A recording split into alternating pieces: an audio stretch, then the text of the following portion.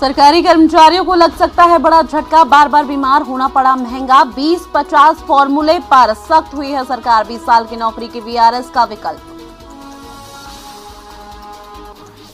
तीन ट्रायल के बाद कोरोना वैक्सीन को मंजूरी देने वाला पहला देश बना ब्रिटेन। अमेरिकी फार्मा कंपनी फाइजर और जर्मन कंपनी बायोटेक्निक की ज्वाइंट कोरोना वैक्सीन को मिला अप्रूवल। किसान आंदोलन में सीए और एनआरसी का विरोध करने वाली ताकतें। जबलपुर में गृह मंत्री नरोत्तम मिश्रा का बड़ा बयान, कहा आंदोलन को हाई ट्रैक करने की कोशिश। प्रोटेम स्पीकर से मिला समाज, ज्ञापन सौंपकर की ईदगाह हिल्स, पहाड़ी का नाम बदलने की मांग। स्पीकर ने सीएम तक आवेदन पहुँचाने का दिया भरोसा। और मध्य प्रदेश में नगरीय निकाय चुनाव की तैयारियाँ तेज, राज्य निर्वाचन आयोग ने जिलों को भेजा रिमाइंडर।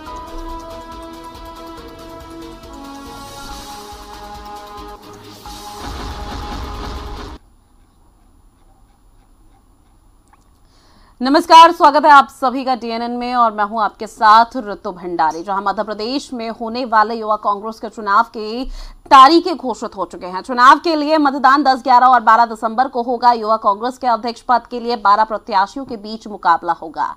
उम्मीदवारों को चुनाव चिन्ह आवंटित कर दिए गए हैं। चुनावी मैदान में दो विधायकों के साथ ही तीन महिलाएँ भी चुनाव मैदान में उतरी है जिसमें कई वरिष्ठ कांग्रेस नेताओं के बेटे भी शामिल हैं।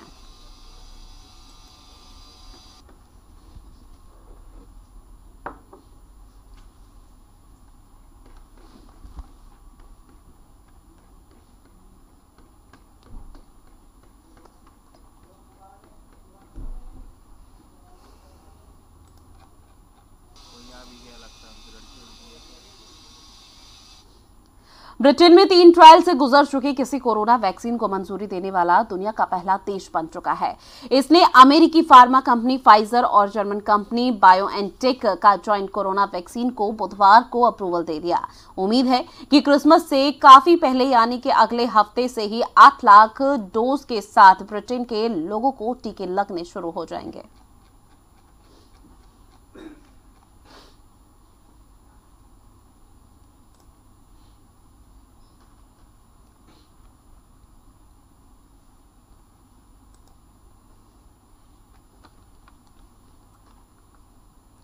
वहीं प्रोटेम स्पीकर रामेश्वर शर्मा से मिलने गुरुद्वारा प्रबंध समिति और सिख समाज का प्रतिनिधिमंडल पहुँचा है, जिसके जिसको लेकर रामेश्वर शर्मा ने कहा कि मैं बहुत सौभाग्यशाली हूँ। सिख समाज के वरिष्ठ जनों ने मेरे कार्यालय पहुंचकर मुझे अपना स्नेह और आशीर्वाद दिया।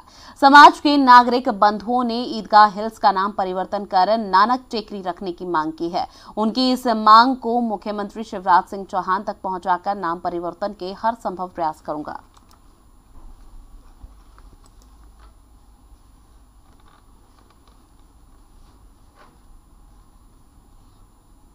सबका आग्रह है कि उसको ईदगाह से ना कहकर गुरु नानक टेकरी कहा जाए। आज तमाम प्रबंधन गुरुद्वारा प्रबंध कमेटी के ज्ञापन हमको प्राप्त हुए हैं। हम ये ज्ञापन माननीय मुख्यमंत्री शिवराज सिंह चौहान जी तक पहुंचाएँगे और उनसे आग्रह करेंगे कि ईदगाह हेल्थ का नाम परिवर्तित करके वहाँ पर गुरु नानक टेकरी नाम पुकारा जाए। नए कृषि कानूनों के खिलाफ चार राज्य, पंजाब, हरियाणा, राजस्थान और उत्तर प्रदेश के किसान पिछले पाँच दिनों से दिल्ली की सीमाओं पर डटे हुए हैं। वहीं किसानों के इस आंदोलन को अब मध्य प्रदेश का भी साथ मिलने जा रहा है। ग्वालियर ज़िले के ग्रामीण क्षेत्र के किसान अब दिल्ली कूच की तैयारी में है, जिसके चलते ग्वालियर चंबल संभाग के किसान आंदोलन में शामिल होने के लिए दिल्ली की ओर मार्च करेंगे। इस दौरान डबरा भिंड मुरैना और ग्वालियर के किसान होंगे शामिल।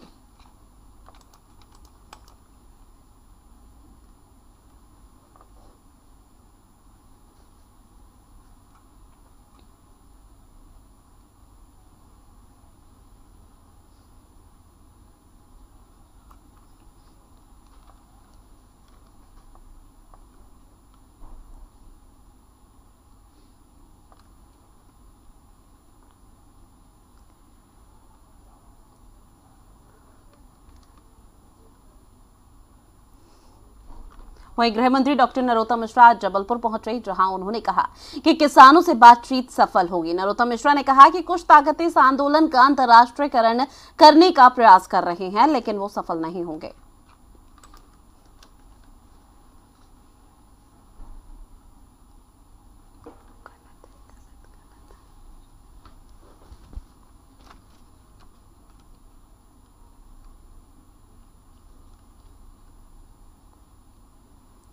नए कृषि कानून पर सांसद और प्रदेश अध्यक्ष वी शर्मा का यहाँ बड़ा बयान सामने आया। है उन्होंने कहा कि कृषि कानूनों को किसानों का हित है और कहा कि एमएसपी जारी रहेगी और इससे किसानों को सुविधाएँ भी मिलेंगी। कुछ राजनीतिक तथा कथित लोग हैं, वो सरकार में अस्थिरता लाने का काम कर रहे हैं।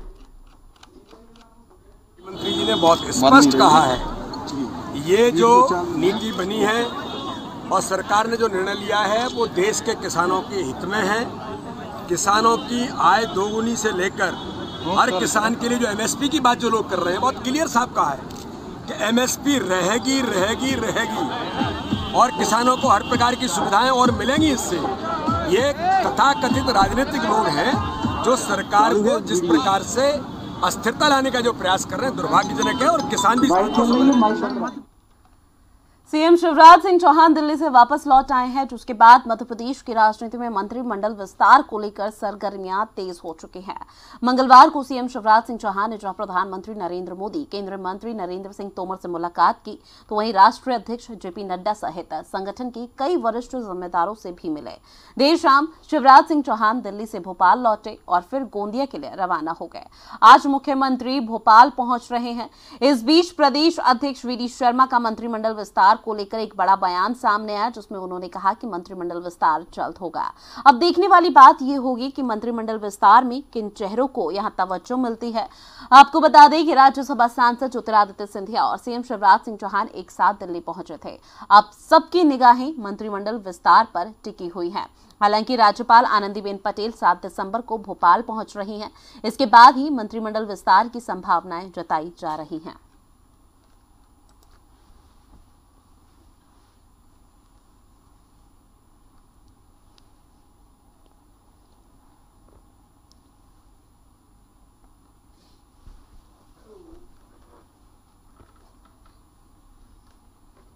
इसके मंत्रिमंडल का विस्तार कब जल्दी होगा जहाँ विषय के होगा। जल्दी होगा जहाँ विषय के होगा।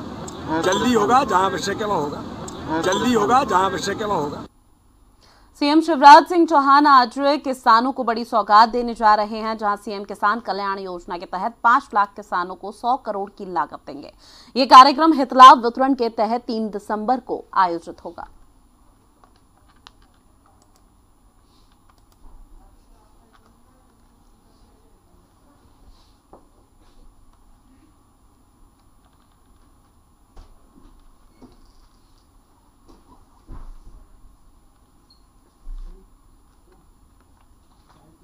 शिवपुरी पुलिस की डकैत बैजू गुर्जर से हुई मुठभेड़ के बाद अपहरण चरवाही को डकैतों के चंगुल से सकुशल छुड़ा लिया गया।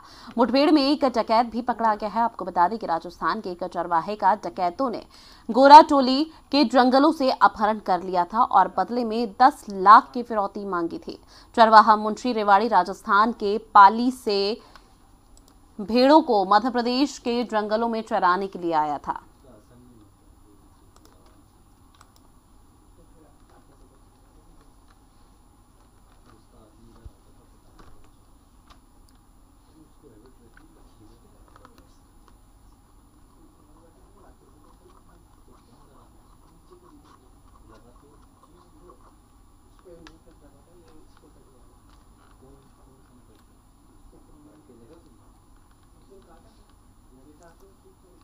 अब खबर राजनांदगांव से है, जहाँ शासकीय मेडिकल कॉलेज हॉस्पिटल के आईसीयू में ऑक्सीजन का रिसाव होने से अफरा तफरी मच गई। बता दें कि रात डेढ़ बजे ऑक्सीजन गैस के रिसाव से वार्ड में भर्ती नौ अति गंभीर मरीजों को तत्काल वार्ड से बाहर निकाला गया। वहीं हॉस्पिटल पुलिस चौकी में तैनात जवान अमित समुद्री ने सूझबूझ का परिचय दिया और वार्ड में रखे फायर सिलेंडर से वार्ड में लगने वाली आग पर काबू पाया, जिस वजह से एक बड़ी घटना होने से टल गई। पूरे घटनाक्रम के दौरान एक गंभीर मरीज़ की इलाज के दौरान भी मौत हो गई है वहीं मौत का कारण जाँच का विषय बना हुआ है इसके साथ ये मेडिकल कॉलेज हॉस्पिटल अपने निर्माण के समय से ही किसी न किसी मामले को लेकर विवादों में रहा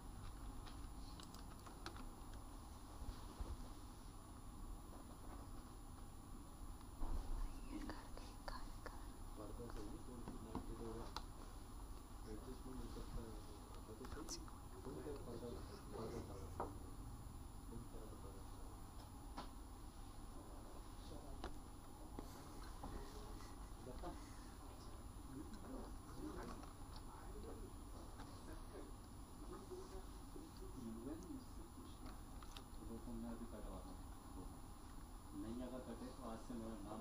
बुलेटिन में फ़िलहाल वक्त एक छोटे से ब्रेक का, जल्द हाजिर होंगे।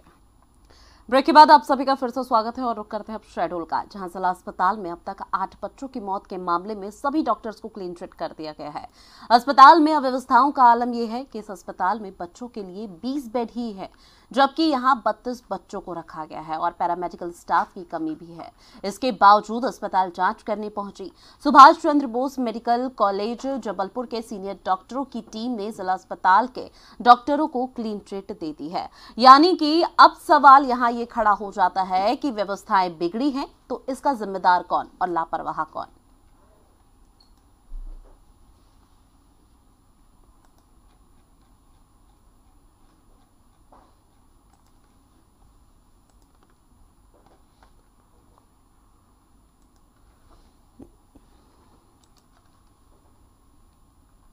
लगातार बढ़ रहे कोरोना संक्रमण के चलते प्रशासन सख्त मोड पर है, जिसके चलते कटारा क्षेत्र के तहसीलदार और राजस्व की टीम ने कैनरा बैंक, एक्सिस बैंक और अन्य प्रतिष्ठानों पर जो मास्क नहीं लगाए हुए थे और कोविड 19 गाइडलाइन का पालन नहीं कर रहे थे, उनके खिलाफ जुर्माने की कार्रवाई की और जुर्माना वसूल भी लिया। इसके साथ ही लोगों को समझाया गया कि मास्क लगाना अनिवार्य है, मास्क लगाकर ही घर से बाहर निकले।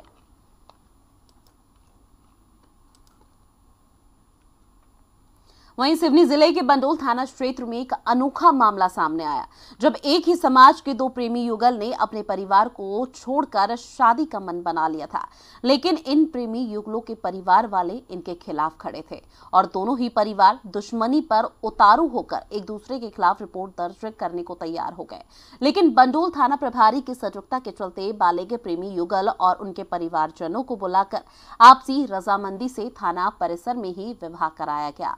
इसके साथ ही दोनों प्रेमी युगलों की शादी के बाद दोनों ही परिवारजनों ने आशीर्वाद देते हुए बंडोल थाना प्रभारी दिलीप पंचेश्वर का भी आभार व्यक्त किया।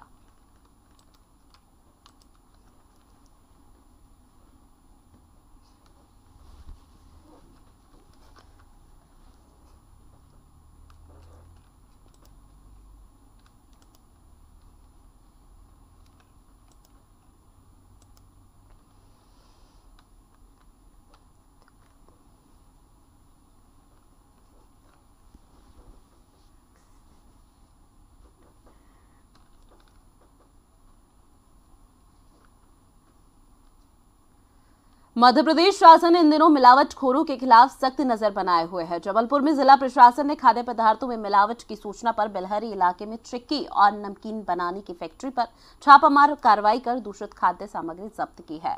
इसके साथ ही दुकान संचालक पर एफआईआर दर्ज करती हुई फैक्ट्री को सील कर दिया गया। जिला प्रशासन के फैक्ट्री का लाइसेंस भी निरस्त कर दिया गया है। बताया जा रहा है की फैक्ट्री में लंबे समय से दूषित खाद्य सामग्री बनाई जा रही थी। उसमें आज दिनांक को 20 खाद्य पदार्थों का मौके पर परीक्षण किया गया, जिसमें दो जगह, दो में कलर पाया गया है तो उनको भी नोटिस जारी किया जा रहा है।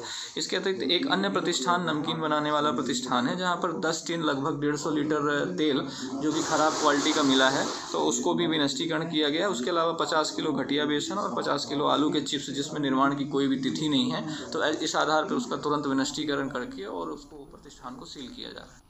इंदौर शासन लगातार एंटी भूमाफिया अभियान चला रहा है, जिसके तहत बड़ी कार्रवाई की गई है। खजराना क्षेत्र के ऑटो चालक और पेंटर से बने गुंडा और अपराधी बब्बू छब्बू के अवैध निर्माण पर जिला प्रशासन ने सुबह तोड़फोड़ की कार्रवाई को अंजाम दिया और दोनों गुंडों के मकानों को जमींदोज कर दिया गया।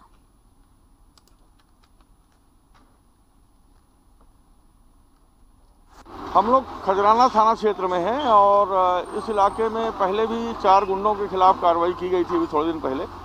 आज दो लोग चिन्हित हैं, एक बब्बू छब्बू के नाम से ये दोनों फ़ेमस हैं। बब्बू का मकान तो लगभग टूट चुका है और उसमें फिनिशिंग का काम चल रहा है और ये छब्बू का मकान है, इसको तोड़ने की कार्रवाई कर रहे हैं। इसको मकान को हम लोगों ने खाली करा लिया है। और खाली करने के बाद पोकलेन लगा दी गई है और वो तोड़ने की कार्रवाई चल रही है।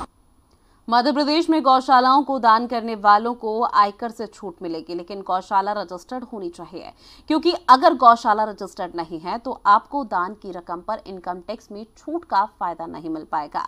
पशु चिकित्सा विभाग से मिली जानकारी में बताया गया कि गौ रक्षा और गौ संरक्षण को बढ़ावा देने के लिए मध्य प्रदेश शासन, पंजीकृत गौपालन और पशुधन संवर्धन बोर्ड को दी जाने वाली दान राशि को आयुक्त आयकर विभाग, भारत शासन ने आयकर में छूट दी है।